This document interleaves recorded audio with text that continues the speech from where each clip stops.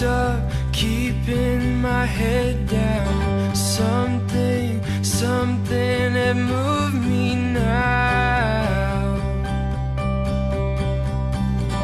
I should.